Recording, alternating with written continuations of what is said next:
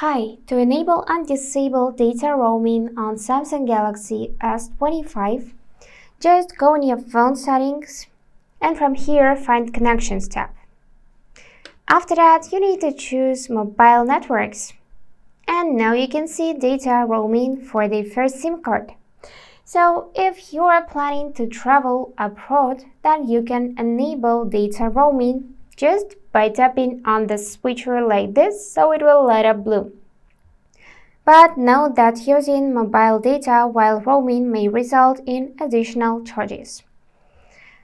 Now to disable data roaming, just tap on the switcher so it will become gray. And if you got some network issues after you enabled it or disabled, then just try to reboot the phone. And that's it for today. If this video was helpful, please subscribe, like and comment. And I wish you all the best. Bye bye.